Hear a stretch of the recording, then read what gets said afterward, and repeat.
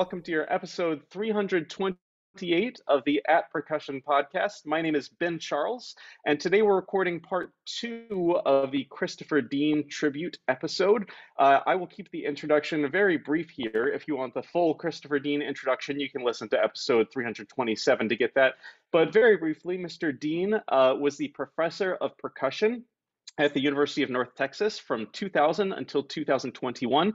Prior to that, he was in North Carolina performing in the Greensboro Symphony and teaching at East Carolina University. Uh, he passed away tragically at the end of 2001, and so we're going to celebrate his life and artistry today on this episode. We have a distinguished panel of guests today, including former Deane students and colleagues. So joining us as my co-pilot for this episode will be Brian Nozny, who's the professor at McNeese State State University. Hello again, everyone. Hey, Brian, welcome back. And Brian Zator, who's the professor of percussion at Texas A&M University at Commerce. Hey, everyone. Honored to be here. And next up, we have Tim Feerst, who's the percussion professor at University of Texas Permian Basin. Hey, everyone. Thanks for having me. Of course.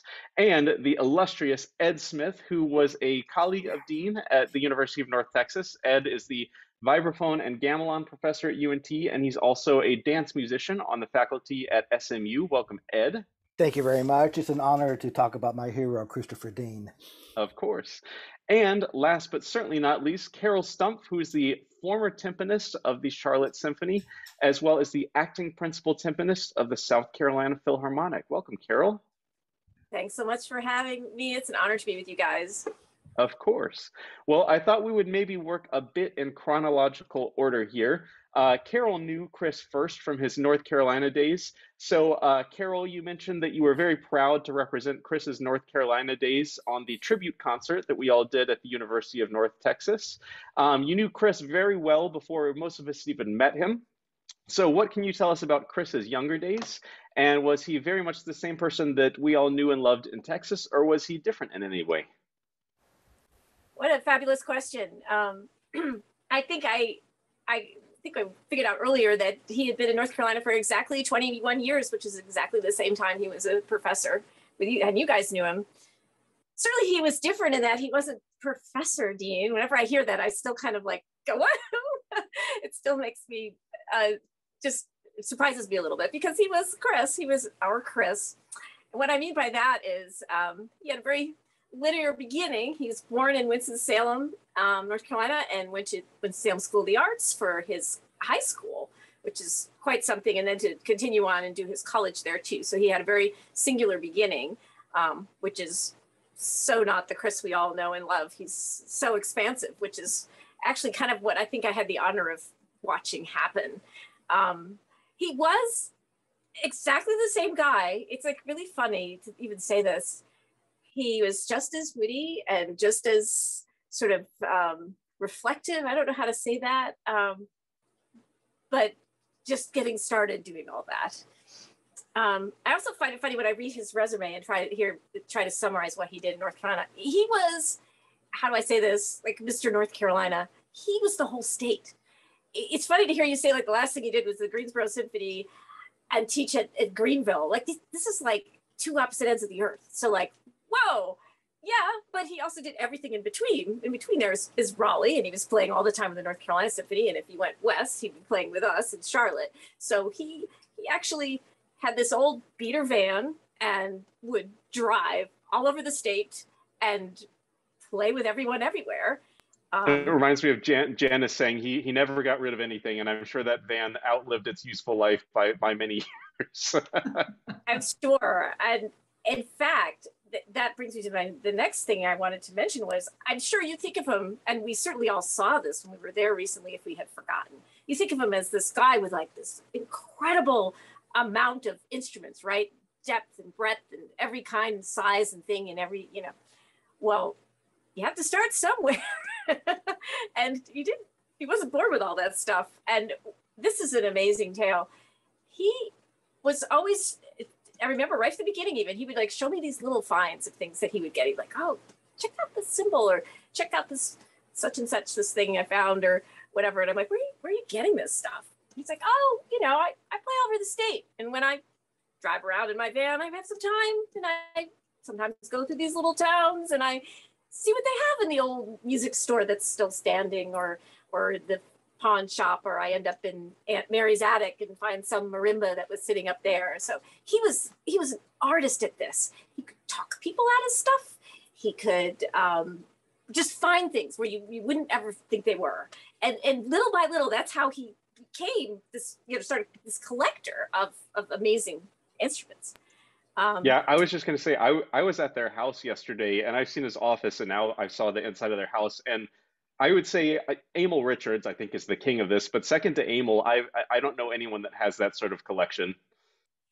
And, and it's amazing. And it's, it's surprising if you live in North Carolina because I, I was like, I'm still like confused because I live, I mean, I'm not from here. I'm from outside of Boston originally, but I'm like, where, where is this stuff? Like, where are you getting it? And he said to me, here's a good story. He said to me, Carol, you just, just, just have to go, you know, just, just go to a pawn shop. Just, you know, just go. So I, finally one day I grabbed a student of mine who was actually in college at that point, I think. And I was like, all right, let's, there's this, and it literally is this like a, a music store, but it was kind of a modern music store. It wasn't an old place but it was very, very small and it was less than a mile and a half from my house, really close by. And we're like, ah, my student, I think, who is also named Chris, which is also confusing. Um, he said, um, let's, let's just go in that place. So we went to that place and we each came out with a K Zildjian cymbal Mine is an old K. It's, it's it's not a Constantinople. It's an Istanbul K, but it's it's beautiful. It's amazing. And he got a modern one, but it's exactly what he wanted. But I was like, how did that even happen? And I know it's because Chris had just said, well, you just gotta go and see what's there. And I feel so silly because it was like practically on my doorstep, and I didn't even know it was, was sitting there. And it's probably the best instrument I own, and would never have thought to go in there if it wasn't for Chris. So um, that's a little hot tip from Chris. Um, I guess we all have to uh, just go to our local uh, pawn shops and everything to, to try to just find something. You never you, you never know what you might find. I like it. That's he was so spot on with that. I mean, that's how he I, probably how he got almost everything that he owned. And in fact, I have a I have a little gift from him that I wanted to show you guys that he gave me one time that he found in one of these little ventures that he was on. And um, I wonder if you guys you may or may not know what this, I mean, you certainly will know what it is, but if you know exactly what it is, I will be impressed. You know exactly, I don't know if you could see it. This isn't a good enough background to see yeah, it exactly. Some sort of triangle. Right. Yeah, but isn't sort of isn't that actually isn't that like actually a machining rod of some kind that's been bent? Yeah, yeah, like the the, the original Abel yes. thing. Ah, ah, say that again because you just the, the original Abel triangle. Yeah. That's it. This is what Alan Abel modeled his triangle after. It's actually the rod from a Singer sewing machine. And this is what inspired him to make his triangle. Now, who else would find this but Christine? Where did he find it? I don't know, some attic in North Carolina somewhere. And then he gave it to me because, of course, I went to school in Philly. And so he knew, you know, we talked about Abel and Abel triangles all the time. He's like, no, you should have it. I said, Chris, I can't take it. He's like, you should have it. So I have this, and it, it doesn't sound very good, frankly. So I can see why, but I can understand why he uses a prototype. There's some parts of the overtones sort of have like some potential. So I think that's um, why he he um, Alan Abel that is decided to go on and make his triangle. But anyway, isn't that amazing to have one of those? I can imagine how it ended up here and what it ended up with Chris, which is the most. Carol, nuts. I was going to say I, I don't know if it'll come through well on Zoom, but do you have a triangle beater? Could you could you I strike it for us once? That. It doesn't sound very good, but I'll do it anyway. Just so we could hear. yeah. And I don't even, I was like, you should have seen me. I was a wreck all afternoon running because I just got back last, no, this morning. Oh, today, this afternoon. And I was running around going, oh, where's that triangle? Where are my beaters? I, I don't have a decent beater or anything. And I, I, was trying to find a decent beating spot, which it doesn't really have, but um, it's okay. It's too like, it's still monodirectional to me. Sometimes you can hear. Yeah, it's it's like I, I said. I, I don't know how well to come across on Zoom. It sounds like it's way more overtony than the Abel, which is almost like a pure like bell hmm. sound.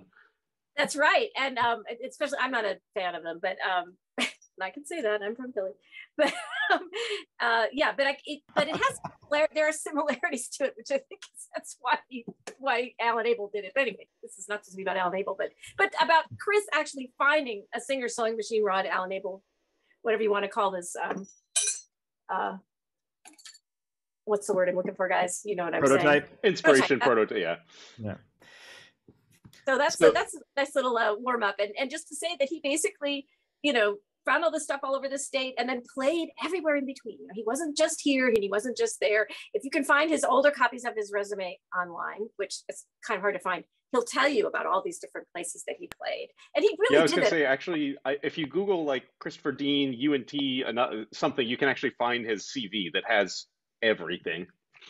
Yeah, and some of that, some I get really mad because some of them have North Carolina left off. It's just like, oh yeah, well he played in Greensboro Symphony and then he left. No, he did like so many millions of things. And actually, he started his Háry János thing here.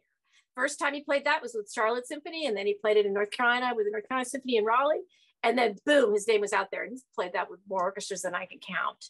Um, and I, don't ask me how he got started. Just another Chris thing, you know. Just hey, let me figure out how to play that thing. Why not? I could be the best in the world at it. Give me five minutes, you know, it's Chris. Well, thinking about uh, thinking about um, you know, Carol, you brought up the triangle. I can't think about uh, Christopher Deane and triangles without thinking about um, the uh, video of him. Uh, I think it's a video he did for Black Swamp Percussion where he demonstrated a triangle and uh, somebody overdubbed heavy metal music with it. There was this. If you search on Facebook, there is this uh, Facebook page called Progressive Triangle Core, and it was all everything having to do with like triangles. And every time you hit the triangle, there was just like this new like just like dark like heavy metal and everything. And um it used like this hashtag ting t-i-n-g and uh uh oh and oh actually it was from uh ken wiley's uh, simple steps uh for uh uh dvd and what was actually kind of funny is that in the video he was known as professor ting t-i-n-g in the video and everything. And uh I, along with uh, two other people, I went to UNT with Jamie Esposito of Spectrum Ensemble and Rebecca Villarreal, uh, who went on to get her master's at CCM, and uh, um, and I think she uh, has an uh, works as the uh, subscription uh, concert subscription manager for Detroit Symphony. Um, I think I think I think I have that correct. Um, but we showed him that video, and he was just absolutely perplexed by it. And- yeah, that's what I heard too. but then like you played it again and he literally just started bobbing his head to it you know it just like it was the it was the funniest thing and it's one of my like crucial christopher deane memories and everything and that that if you haven't seen progressive triangle core like that entire page is just an absolute gem I guess I'll have to. Never even heard of it. Sounds amazing. I was going to just mention really quickly because uh, Carol had mentioned it. I, I did go- Google and find that uh, UNT res or CV. Um, and if you're watching on YouTube, I will I'll screen share this so you can see. Um, but I, Carol, you can tell me. This seems like it has pretty much everything going way back to 1979, Charlotte Symphony Orchestra, concerto Yeah. performances. Um, so at the very least, this has a whole lot, if not everything, as well as uh, I saw somewhere down here it has a list of his compositions. So um, yeah, if you if you Google enough keywords, anyone that's interested, you can uh, find this. so Brian, I had I think you had something. Yeah, I wanted. To, I, I actually have to say first, like I actually always thought of Deane first as a rock drummer. I think that was kind of where he almost got his start because I remember him telling me a story at one point that one of his early memories was that in high school or middle school or whatever, he would take his two fingers and he would he would straddle the um the desk and he would go up and down and they would see how clean they could play Wipeout. Just do, doing the Wipeout drum solo like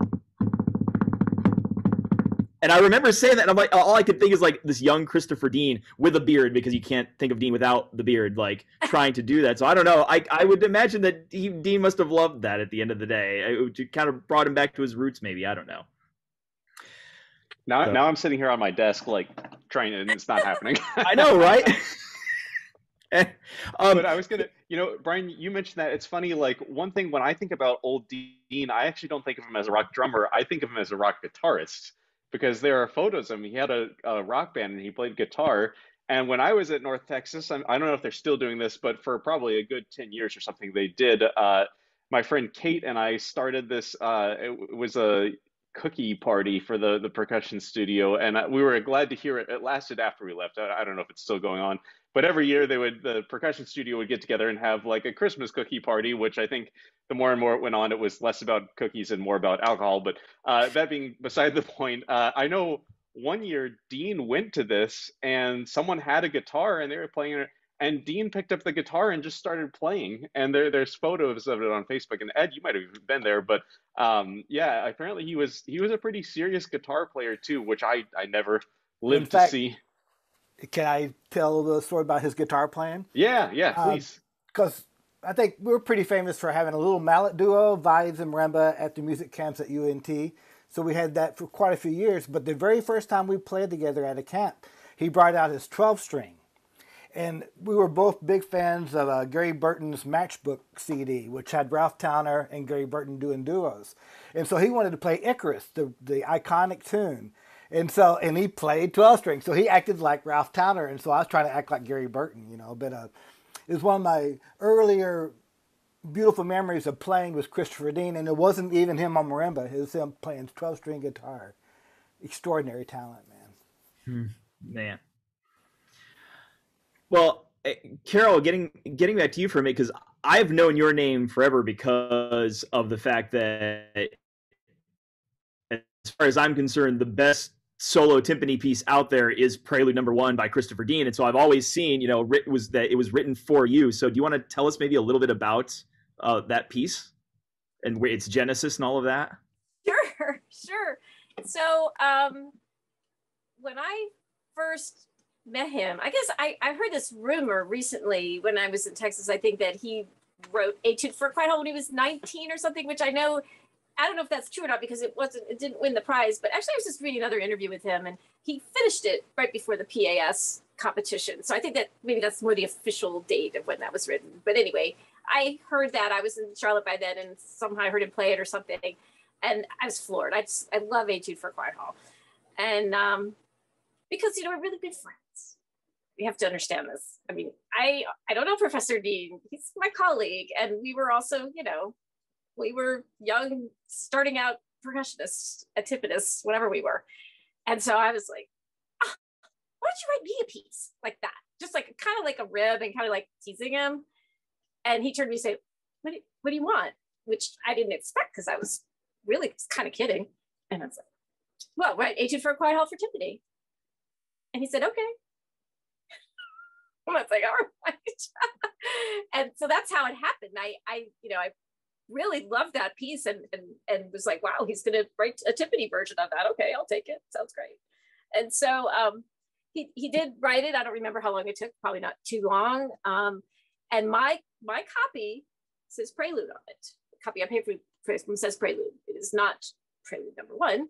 It is Prelude because that's you know, when you write your first prelude, you don't know it's your first prelude, right? It's just prelude.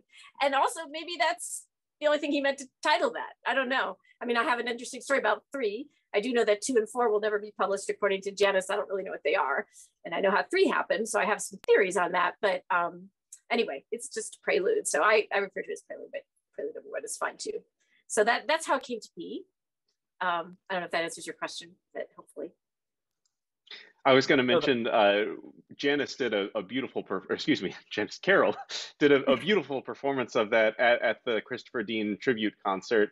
And I, I, I, Carol was the, the only one that thought to do this, and I, I wish that more people had. At the end, uh, Carol, as she took her bow, she picked up her music and she held it up and she sort of saluted the music, saluted Mr. Deane in that way. And I, well, quite frankly, I don't think it would have worked for. Uh, Vespertine formations because we all had these big ugly black boards with our music and template for memory. So, um, but yeah, it was like this, this really sweet little moment that that you uh, gave that little nod to to Chris. Yeah, it seemed obvious to me. I was I thought everybody would be doing it. I don't know why. I just I thought I'd have to do it because Chris. Yeah. Oh, Well, anyway. you you know why we didn't. Such big Yeah, board right. holding up. when the first page turn happened in that Vespertine, I couldn't believe it. Brian, right? You went into took Ben's music and like, I was like, what's going on here? It's like, I was like, you know, I barely have any time to do this, so uh, Brian, you're gonna do it for me. I, I, I got an assist uh, on that one. So yeah. Meanwhile, Sandy has an iPad, which I, I wanted to use an iPad, but I wasn't gonna be the person whose iPad failed, so there we were. yep. So, well, uh, since we've, you know, in some level of depth covered Chris's North Carolina years, I would like to uh, jump to Chris's Texas years next with uh, Ed here. Um, and I, I don't know if, if I'm allowed to say this, but uh, maybe because we're not actually going to edit the recording in, Ed made a beautiful and hilarious tribute to Chris several years back. Of uh, it was a cover of Giant Steps with some uh, some Christopher Deane themed lyrics, which maybe if you poke around enough on the internet, it might pop up somewhere. But uh, we'll keep that an inside joke. But Ed, uh, well, you and Chris have a very different artistic output. Um, I've always sensed like a mutual admiration between the two of you. And while your artistic output might vary greatly, um, you were very similar teachers to me, and that you were humbly, excuse me, humble people who cared deeply about their students' success. So, what was Chris like as a colleague? Well, I think I gradually learned the his teaching style that inspired me so much. When I first met him, I was just blown away by his compositional output and also his beautiful playing. But I didn't know about his teaching style quite yet until the years as we got to know each other. And then I would some students would come to my lessons and they would say, Deane said this, and then, and a light bulb went off, you know. And uh, so I started trying digging in a little bit more. I learned about his Sherlock Holmes uh, voice, you know, and how he would help you find the solutions and stuff like that. So I, he was a huge influence me on, on my teaching alone. Uh, but he was also a big supporter of me. I mean, I'm sure everybody feels that way. That he was he supported you in such a beautiful way, and for me, uh, he kept asking, when's, when's your solo CD coming out? Man, I'm going to buy your solo CD. I'm sorry I still haven't completed it, so I won't be able to give it to Deane, but he's always a, a big supporter of my music. And we would have just beautiful chats about the students and how we can support them more. He, um, I remember one, oh, I'm going to go off on another track. One of my important memories of Deane is as one day we're walking out of the music building at sunset, and we noticed this gigantic flock of black birds creating these incredible designs. Which I, and at the point, at that moment, I didn't realize he was about to compose one of the greatest pieces in percussion literature. But we, we saw each other twice at sunset. We just sat there for you know 20 minutes, just watching these amazing uh, formations, and I didn't realize he was already configuring notes and scales and patterns and everything. So then eventually, when he finally completed that, that amazing composition, I, I just had to bow to him. You know, he was just so extraordinary. So I was very fortunate to get to play with him. You know, he was a closet jazzer. He could actually, he could definitely improvise in the in the style. He was a big fan of Gary Burton, along with other Vibe players. He was so thrilled that Gary Burton played on his Vibe at a music festival in Dallas. I think he might, might have had Gary sign it even. I think, I can't remember, but uh, uh, so during our summer music camps, uh, I would always ask him if he'd play a song with me, and he was always game. We played "Time Remembered," which is a very difficult Bill Evans tune, and he played it beautifully. Uh, a tune that I wrote called "Martha and Aaron," where I steal a little bit of Aaron Copland's hymn in Appalachian Spring, and I put some material around it. And we actually have a video of that that I should probably post.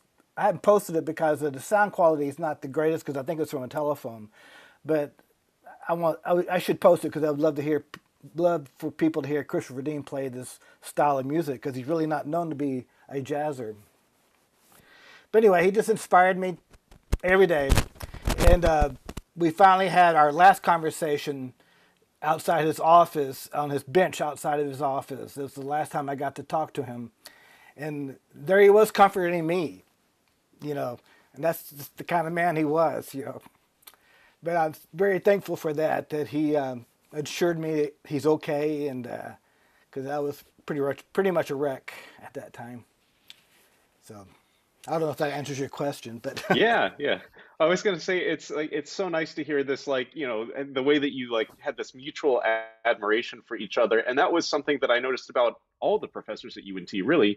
Um, but I remember I had one one lesson with Deane, and in the middle of my lesson, there was knock on the door, and he opens it, and it was Ed Soph. Uh, and Ed had forgotten his mallets for you know cymbal rolls on drum set the, the, the night before, so Deane had had loaned him some and so uh, he's oh oh yeah of course no problem. So he takes his, his mallets back and closes the door. And just like so humble he was like that man right there is the reason that i don't play drum set. There's there's no need for me to. And it's like you don't have to make a like a self-deprecating comment about you know like something like that but like I, you know at the same rate i, I get it. So um, but since we're talking about him as a teacher uh, after mr deane passed zach shear uh, who's a, a, former student, posted uh, Mr. Deane's 45 lessons in 15 minutes, um, which I won't take the 15 minutes to, to read all of these on the podcast. But again, if you're watching on YouTube, you can see the screen share of these in a second here. Um, but the first one, let me pop this up, and you can take time to read them all on your own. But the first lesson is music isn't hard, bricks are hard Music is time consuming. If you think of music as being hard, you have built a brick wall between you and your goal, which was like the most just brilliant thing. And uh, here's the second page of these. But it wasn't until I saw this list that I was like, I remember him saying literally every single one of these things in my lessons. But not only that, now that I'm a teacher, I realize I've said literally every single one of these things in my lessons. so he had a, a, profound impact on me, as you know, all of us, obviously, but just such a wise, wise man. And like I said, if you if you go on YouTube, you can you can find that list that I just screen shared. So Brian Nozny, I think you had something. I remember him getting back to kind of the Ed Soph story. I remember being in his office, and one of the things that I believe is on the 45 is um, um, it's not when you do it, it's that you do it. And he sat there one and he told me this story about it was like one Saturday morning, and he walked into the building to he was going to go practice or he had just got to get something out of his office, and he was walking by and they had a Suzuki class of all these you know like these children playing string instruments and he walked by and he saw some 10 year old playing the Mendelssohn violin concerto and just destroy just absolutely just it was one of the most he was like oh my god and he went and he sat down in his office and he's like why am i even bothering with this? Like why am i even bothering doing this stuff when there's people like that out there? Why am i even bo-? and he said it was this light bulb moment that he was just like it's not when you do it it's that you do it. And that was just the, i always remember that so that was like one of the most profound things that it's an it's such a lesson that just is overarching to not just music but to anything in life. And so that listening to him say that about ed soph i'm just kind of like yeah there's i can see connections there to that. You know that that just set off a light bulb in my head. I, I totally just remembered this story. Uh, but there was one time i don't know if i had a lesson or if i was just in his office or what um, but there was some kid walking around selling chocolate bars and you know those fundraiser chocolate bars they're terrible. And so if anyone ever asked me do you want to buy a chocolate bar? I would probably politely decline. Uh, but the kid walks up to deane and he says uh, sir i'm selling chocolate bars to, to help support my school orchestra. Would you like to buy one? And i think deane pulled out his i think he gave the kid a 20 and, and took one chocolate bar. But i mean that's the kind of person he was just to support anything musical like that. So um, brian zator i think you had something I did, yeah. Actually, about the about the list, I think it was um, I had seen it before, and like all of all of us, we had used some of those. Um, uh, but I think one of the things that uh, I mean, there's so many things that we talk about that his memory, his music will last. But I think that teaching thing, and Ed was talking about it too, just the the caring that he has for the students. Um, and when I saw um, I actually talked to my students at a studio class, and after Deane had passed away, and um, I, I saw the the sheet that Zach had posted, and I was like, you know, what? I'm printing this out, and um, I I think it's my due diligence to pass off something from my you know our good friend, our teacher, our mentor, and that is still up there on our bulletin board. And, you know, most of my students never got a chance to, to meet him. And uh, I think that sheet is just a, a microcosm into his mind and just the way that he thought, because those were just things that were just him and were just natural. And he didn't have to overthink it. That's just who he was. And like Carol talked about before, I thought that was great. You were like, that's kind of who he was back in North Carolina. So I think that even just those those sheets that anybody can put that up there, and even if they don't know him, can have an insight in just his his music, his teaching, his thoughts are just going to continue from generation to generation. I just think that's uh, pretty pretty poignant of that aspect, just uh, of what those sheets and just an insight to him. So going going along with this, I'm going to flip screens over here to read this. Um, after I after I had found out about Deane's diagnosis, I wrote him a, an email trying to say things, and he, being so eloquent, you know, wrote me back this this wonderful, you know, um, this wonderful message. But he wrote something that it was just kind of speaks to everything that that all of us are saying about his teaching this is a, a, quote from him. He said he said teaching is such an abstract activity. One enters a building expels ideas over gusts of hot air and leaves that building having no idea if anything was of help to anyone. I have always tried to see into the needs of whoever i am teaching at any given moment a process that often goes fairly far afield from the all-important curricular boundaries in the hopes that something said will lead to a more motiv- to more a more motivation beyond just learning a better way to paradiddle and it's just like that's I, I don't know that you can summarize Deane that you're more than like better than that in my mind. It's just so perfect. That's what I got. Yeah, I remember, um, you know, because we're kind of talking about like quotes and everything. Um, one of the most valuable quotes that Chris ever gave me was, um, you know, we've all had in lessons with Deane, we've all had experiences where um, we weren't really feeling good about ourselves either as musicians or as humans and deane was so good at peeling us off the ceiling and everything and what he was able to do was um, i just remember this quote and i pass it along to my students is that it's your life it's worth fighting for and it is such a profound quote and there have been so many times where we think that you know for the sake of you know humbleness or humility like we're not going to like inconvenience you know the professor to give you that signature so that you can um you know so that you can then go graduate and you know defend your dissertation and everything. But chris would say it's your life it's worth fighting for. And if there is one quote that i always share with my students is it's that.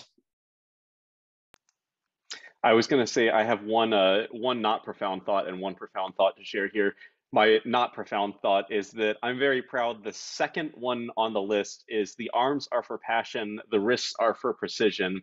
And I wish I could tell you exactly what it was, but I remember I was in a lesson and he kind of asked me the arms are for blank, the wrists are for blank. And and me being not a great student, I fumbled through and gave some answer. And I don't remember what it was, but I misquoted him. And he said, actually, what I normally say is such and such, but I like what you said. Uh, and so, and I was just a variation on what he had said, but he got his little book out and he wrote down what I said. So I can, my claim to fame is that I'm somehow, and I wish I could tell you how, somewhat responsible for the wording of number two. but uh, I, I shared some some memories in private with Janice, and reading over this list, I was going to say we often think of being opinionated as a bad thing, and there's certainly uh, can be a negative connotation to that. But Mr. Deane was just very opinionated. He had ways that he did things. Um, and it's funny because so many people have this warm and fuzzy memory of all their lessons and all this wisdom that was passed along to them. And I certainly get it. My memory is actually a little bit different. I disagreed with him a lot. Um, and in a, in a respectful, artistic way, we didn't have shouting matches or arguments, and I, I wasn't failing my lessons over it or anything like that. But I had certain different views than him, and I remember one of those views in particular. He always said that marimba is a rhythmic instrument. Timpani is the only melodic percussion instrument, And I understood what he meant by that, but I very vocally told him, I don't, I don't think so. I think I get what you're saying, but I think you need to play it as if it is a melodic instrument because that's sort of like the, the background that I came from. And it's funny because we had all these discussions, and when I graduated, I, I never actually knew for sure if he liked me in so many words. Uh, it was it like again, it was not a contentious thing, but I very clearly had my opinions and, and he had his, and they didn't always match up. Um, and it was funny, like, I, and I I wasn't necessarily the best with always keeping up with him throughout the years, although I did keep up with him and I took a lesson with him around 2019. So obviously, uh, toward the end of his his life, um, and so, but it was like really nice for me.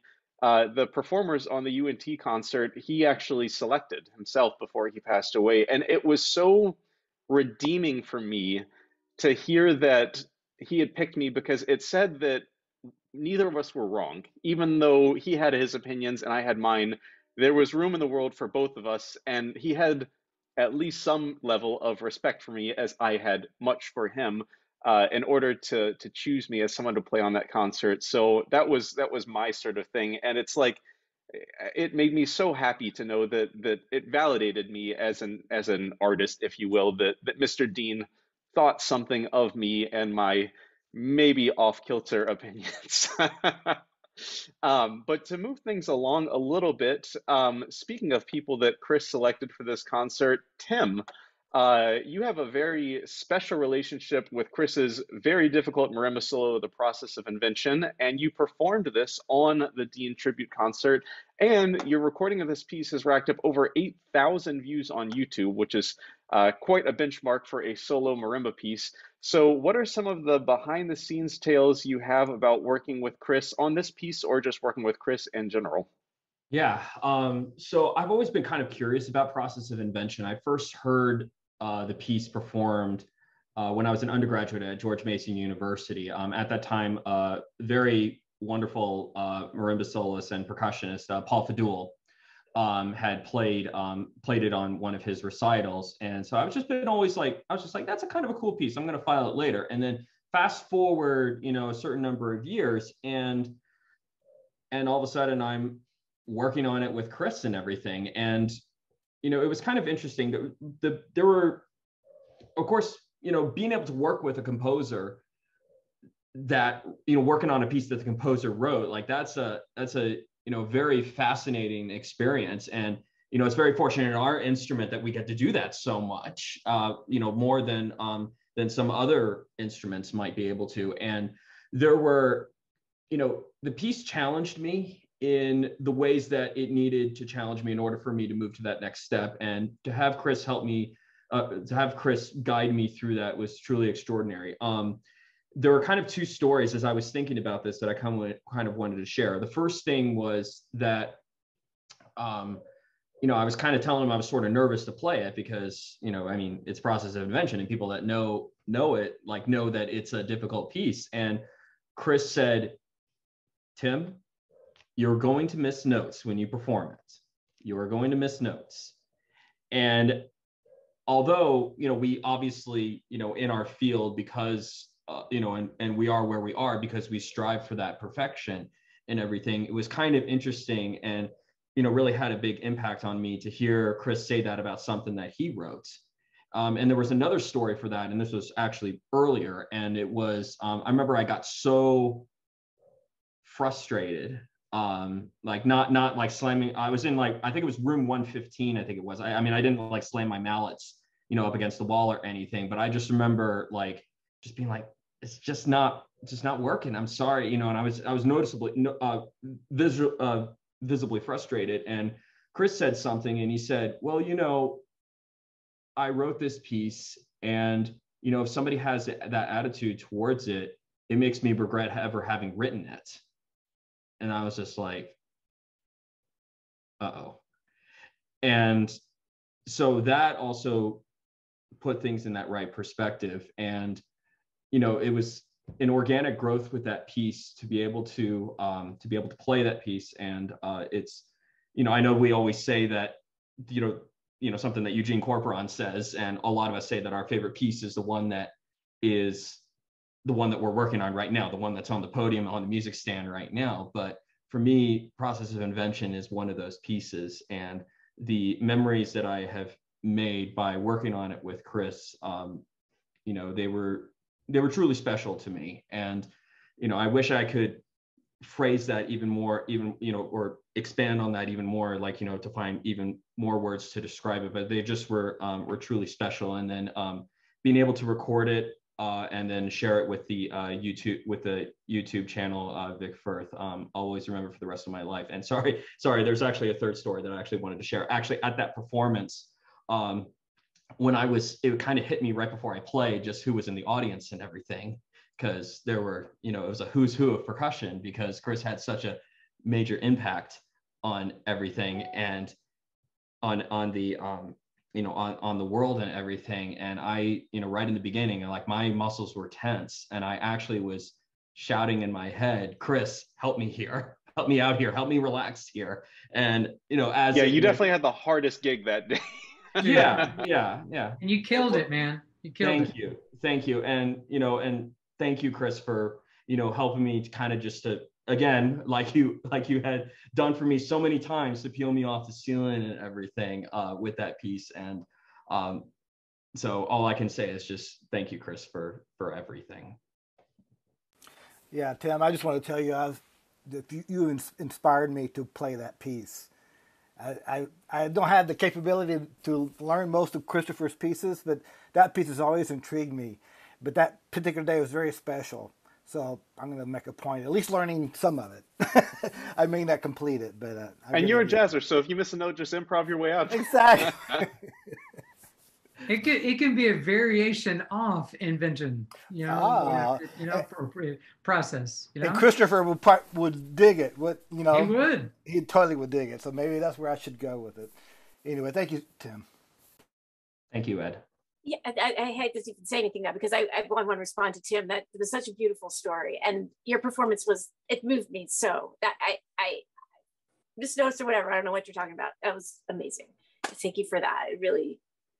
So one, there were so many moments, but that was a huge moment in the in the event. So thank you for that. Well, thank you. And I, I mean, the, you know, the reason that I shared that story was not necessarily to be like, well, you know, you know, oh, you say it's great. Well, I didn't think I, I was really happy with the performance and everything. It was um it was just kind of like a moment where I was I felt like I felt like Chris was kind of helping me was helping me through it and everything and you know as you know, and everything. So um but you know again thank you all for the kind words and everything. Um I I will remember that concert for the rest for the rest of my life and it was uh, such a huge honor to be able to uh, collaborate with all of you on it truly from the bottom of my heart.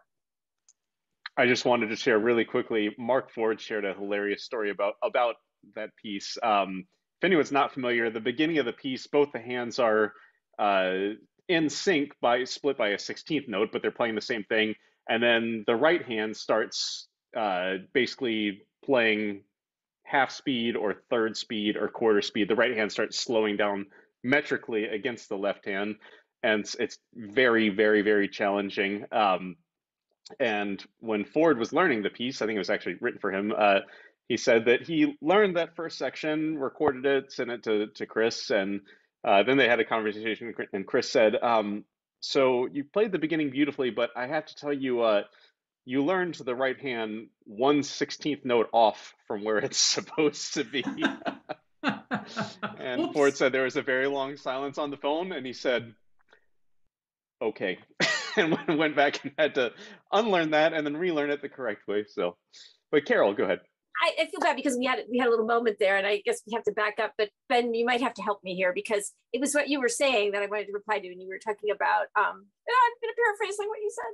You were just talking about not exactly agreeing with what Chris said, and maybe having a yeah, slightly yeah. different approach. Am I getting that okay? Yeah, of course. Yeah. Okay. Well, can I say something? I I swear to you, I, I, was having this vision of Chris sitting right next to me. Because you guys have to remember, he was never Professor Deane to me, ever. He's my friend, he's my colleague. And I just had this vision of him looking at me and look at each other and go, Can you believe these guys? and we're just laughing with him because um, he would he would relish that. He would absolutely relish that, that you have a different opinion. And I was going to say it didn't feel like it.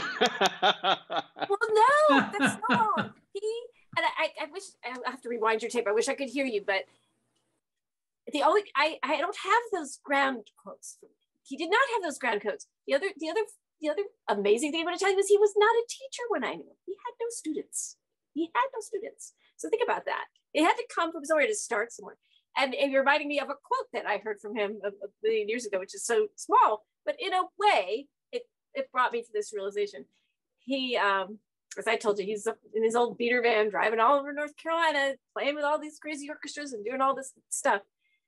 And um, somehow I don't know how we got talking about traffic jams because there were none back then. I don't know how we were talking about that being caught in traffic and sitting there.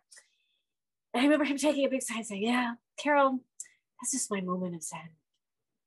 And you know, that was long before Jon Stewart said it. You know, nobody else has said that. he was the first.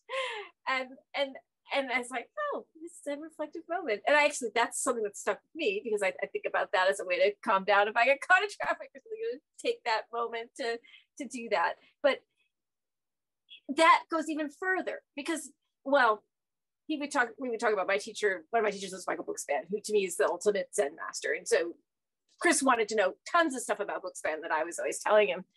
But um, that's what it seems like when you were talking about him. I just Chris is is is is so much that if you know him or not, I'm going to assure you that he is, and that and it, it, things just are. You know, there isn't a judgment there. There's no judgment there. They just are. It is two sides of the same coin. They just are, and this is as right as that. And and uh, and just to, to assure you of that. And I know you by being asked to play the concert, you felt this great sort of you know approval or whatever. But I, I guarantee you, you had that right from the get go. And in fact, when you probably first said something challenging to him, I promise. it's all I want to. Well, thank you, Carol, for for helping reassure my self confidence. yeah, like I said, it was just you know you want your you want your teacher to say yes, that's exactly it, and you're doing great, and it was like this you know, he never told me you're doing poorly. Um, Dr. Stroma did that, but uh, I never got that, never got that warm, fuzzy, like, yes, I wholeheartedly agree with how my, my students acting here. Well, uh, changing gears a little bit, Brian, um, you had, uh, first of all, it was fantastic. I, Brian Zator here. Uh, we got to play uh, Christopher's quartet Vesper, Vespertine formations, um, which is has always been one of my favorite pieces, and I never dreamed that I would ever get to play it with such an amazing group. It was Jason Baker, Sandi Rennick, Brian Zator, and uh, me, um, and I mean it was just so much fun to put together. Um, and I think it was Carol mentioned like that, or you know, I think it was Tim said that that Deane tribute concert is one that will just live in my memory forever. Um, and I think that my favorite concert I've ever been in, period, was the 2006 UNT Wind Ensemble PASIC concert. They did this concert twice at North Texas and once at PASIC. Uh, and I was at every single performance on the edge of my seat. And this is the concert where Keiko Abe came and she played Prism Rhapsody with Mark Ford. Um, and at the end of the program, there was this piece I had never heard of called The Glory and the Grandeur by Russell Peck. And that piece was uh, Mark Ford, Christopher Deane, and Brian Zator performing. Um, and it was spectacular. It was one of the best performances I've ever seen. I still remember it was the first time I'd seen a Deagan artist special xylophone, and they had two of them on stage. And Brian and Chris had these crazy dueling xylophone licks. Uh, there's one section where all three performers are on marimba, and Chris had this little mallet swish that he did. Um, I remember the opening of the piece. There's this raucous. Uh, it's part of Russell Peck's piece "Liftoff" that he's put in the concerto, and it ends with straight 16th notes, super loud. And Chris turns the conductor and counts the conductor off one, two, three. Um, and it was just, oh God, I just love that performance, love that piece so much. I was so inspired by it that, that I learned it with some friends in grad school, and we got to perform it with both the orchestra and the band. And I played Chris's part, and I ripped off everything he did. I ripped off that little mallet swish, and it was, oh god, just so fantastic. So, Brian, I've gone on and on about how how great this performance was. Tell us about performing this piece. Oh, and also they played it a couple years later with Lone Star Wind Orchestra, and I was at that performance as well.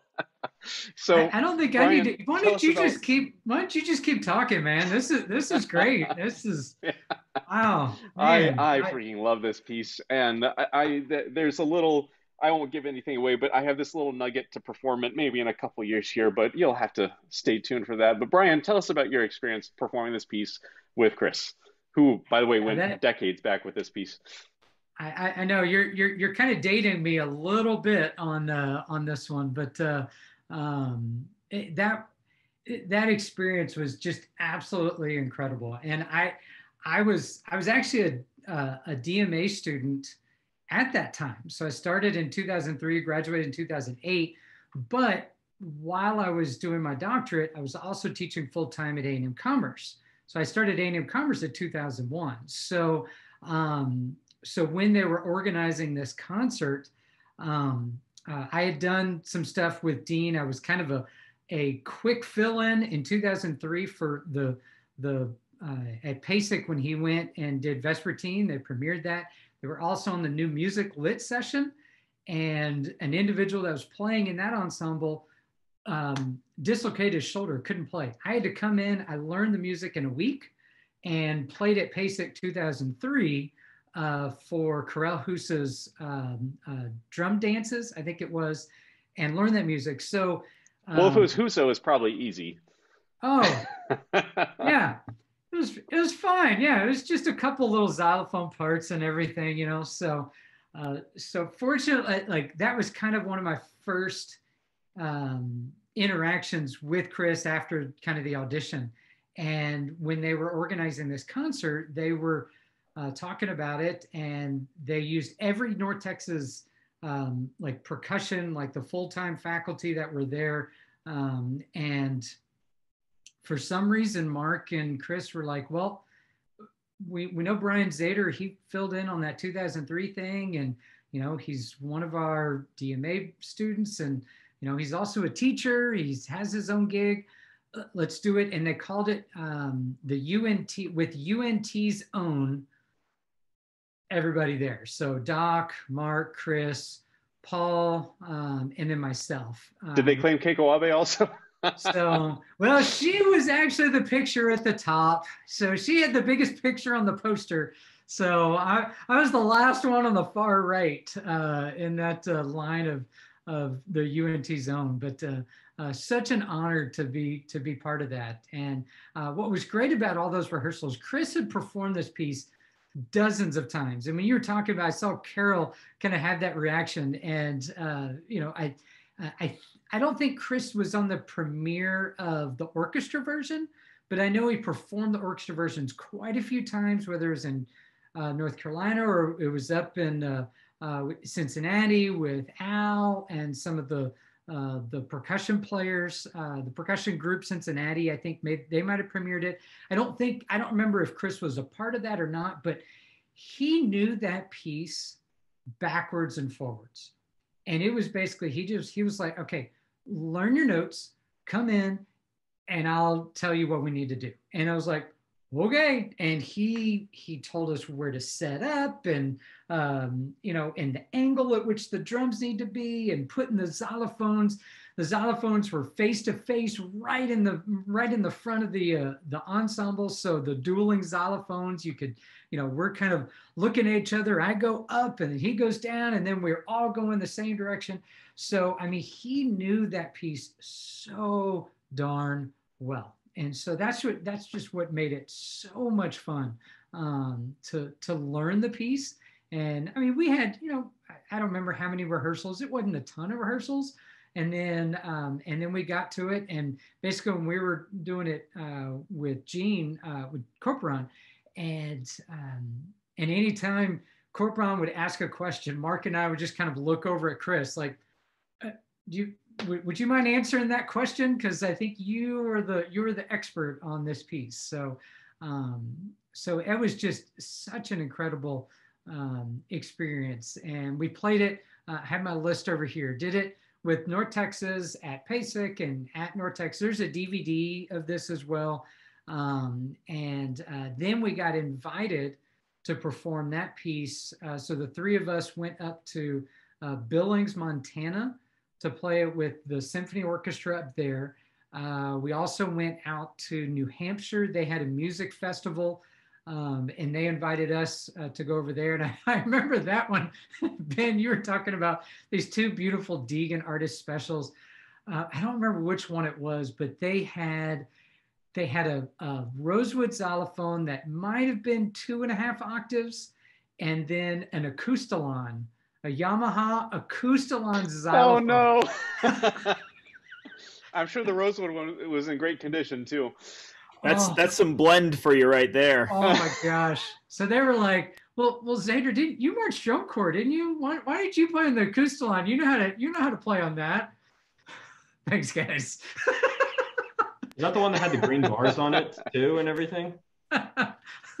Dude, it was. It had what bars? Green weren't they? Did they have like green bars on them or something, or that, that particular model, or? No, this was. It was the the brown, but it was the plastic it was the plastic bars and everything. And so, you know, I was playing like this high off the off the board because you get too oh. high and then that like you won't even hear the orchestra uh, type of thing. So, um, but it was, I mean, that experience was great. And and what was really special about that is Mark, Chris, and I just, you know, really just uh, created a relationship uh, through that experience. And we've we've done quite a bit after that. Um, uh, we're able to do quite a bit after that. But uh, just that that experience, just um, me young in my career also, and for Chris and Mark to to take a chance with uh, with this with this young guy that uh, um, you know was just kind of doing his doctorate, young in his college teaching career, and that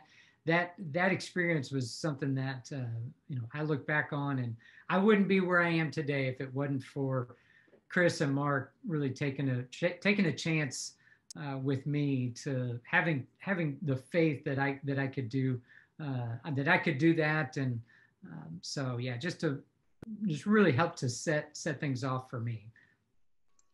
I was just going to add, I, I, was talking about people with strong opinions, and Eugene Corporon, the conductor of that, uh, is one of them. Uh, I remember mm-hmm. Deane told me that uh, there that xylophone battle section. I remembered uh, Russell Peck, the composer, came to the you know final rehearsals in the concert, and he said that the tempos were marked 180 or something just ridiculously fast. And I think Deane had kind of asked to slow it down, and Corporon said, "Nope, this is the tempo it says. That's the tempo I'm conducting." And finally, Peck got there and said, uh, "Are you guys just like trying to like blow through the section to get to the next thing in rehearsal, or, or what's what's going on with that?" And he was like, "Well, it's the tempo you're." He's like, "Well, well, don't do that." I forgot about that. That was actually, I think that was in the the main hall too. Yeah, and I'm sure at that point, Brian and Chris breathed a sigh of relief that they could at least catch some of the right notes. Dude, it was so fast. Oh my gosh. Carol, I think you had something to add about uh, Chris's early days with this piece. well, yes, and yes, sort of. Do you guys know who you're talking about, Russell Peck? Do you know where yeah. he's from? Yeah, where? of course, North Carolina. yeah, and his, by the way, his uh, his music publishing company is uh, he's passed away, but the company is Spectacular Music, which I love. Spectacular. So if you don't think he tried to, every single piece he ever wrote tried to play it out here first. You you you, you know, guess again. Of course he did. So I'm sure. I think Chris probably played in Greensboro or something. I don't even know. I know he's always knocking on our door. We made fun of him, but I'm glad you like the pieces. he's he's kind of a I'm glad he didn't show up till the dress rehearsal. That's good. Let you do what you want. That's all good to hear.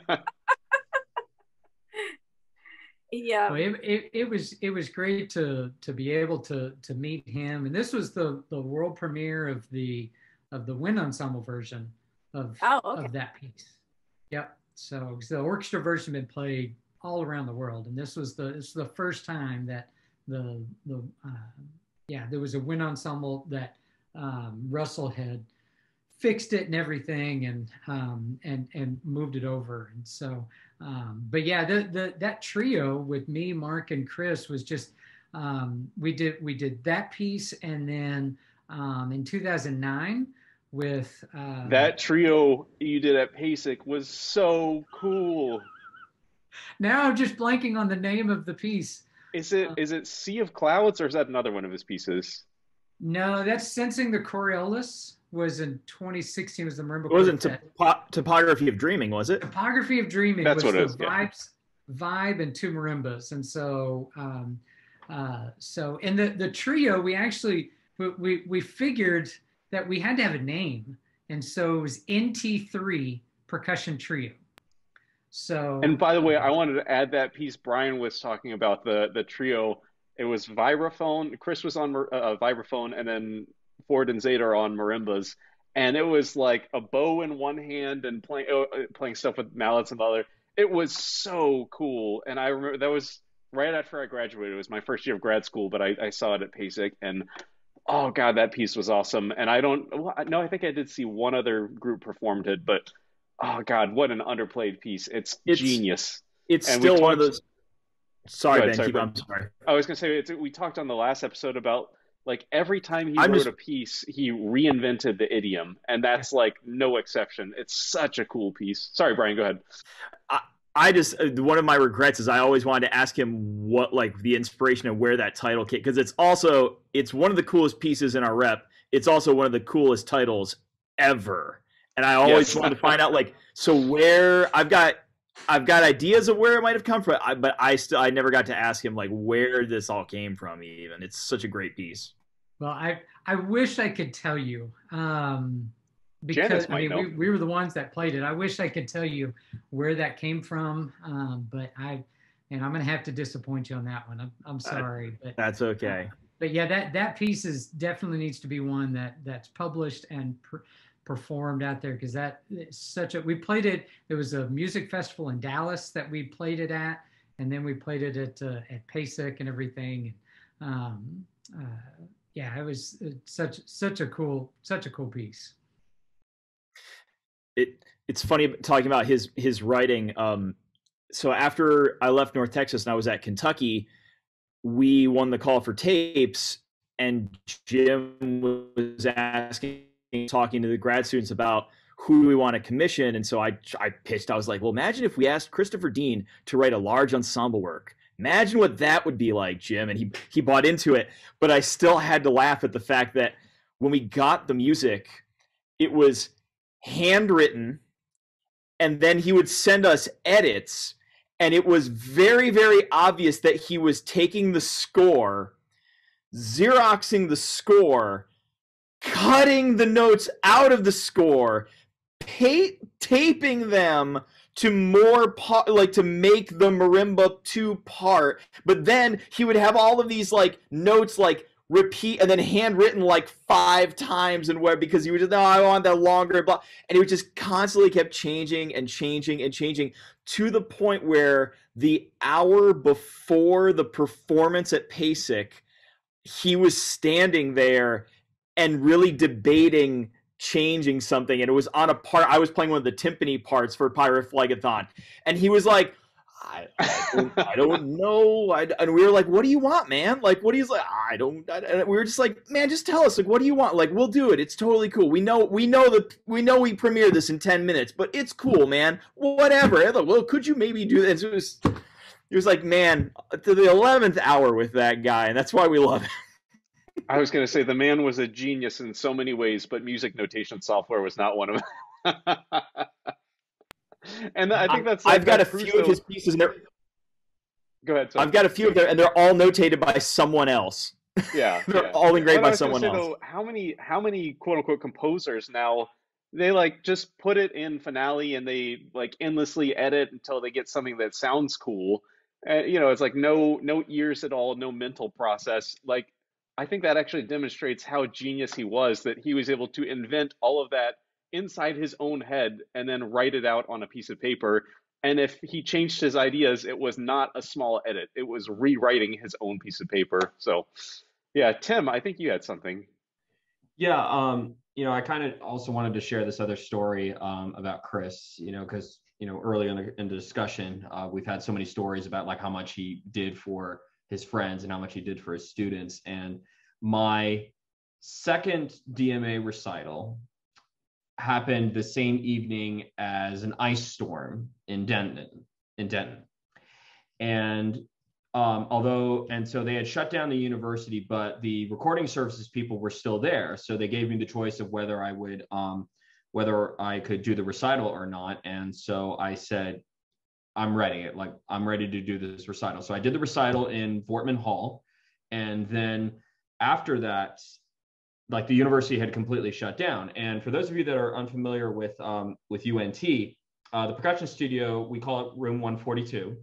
Uh, 142 was locked, and the students did not have key access to it. And this the ice was piling up and everything. We had all these instruments. It got accidentally locked at the end of the recital, and so um, we called Chris, and Chris came back braving the ice in his Dodge blue navy blue Dodge Caravan back to the music building and unlocked the unlocked 142 so we could get all the instruments back. And you know he he just did so much for us you know including risking life and limb and everything to try and uh you know make sure that we had everything that that we uh that we needed and everything. And you know i would i would um i would regret if i did not share that story um you know that was 100% Chris. You know, that was that was him, the teacher, the mentor, and the friend.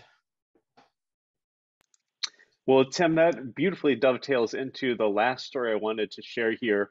Uh, I asked anyone online if they wanted to share a story, and uh, Graham Viegut, who is a UNT, I believe, grad student, uh, wrote to me, and um, I'm just going to read what Graham said. He says Deane was teaching UNT's percussion literature class in spring of 21 he spent most of the semester teaching on Zoom, and one of my favorite classes when, was when we looked at John Cage's Child of Tree and talked about amplified cactus and Cage's compositional techniques. Naturally, when Deane came to campus for our final exam, I decided to bring him a, a present, a small cactus plant. He seemed pretty amused and appreciative of it after a semester that wasn't the best due to the pandemic, However, a month or two later in the summer, I got this email from him. And the email reads Hi, Graham. I hope the summer is going well for you. Nice to have a break. By the way, thank you so much for our cactus plant. It seems happy in our home and is a real joy to look at. I remember you saying you wanted to play Mourning Dove Sonnet. I can give you a copy. Do you know if anyone will be anywhere near school this summer? You can either pick up a copy from me at my home, which is not too far from school, or I can leave you one on my door at school. Just let me know what works. And Graham said, just a short note saying the cactus is happy is in our home, but made me smile so much because I can imagine his slightly bemused expression and how caring he was to remember so many details about his students. So with that, I think we will wrap up for the day. Thank you so much, everyone that helped out, participated in this session, and we look forward to seeing everyone on the next episode. Thank you so much.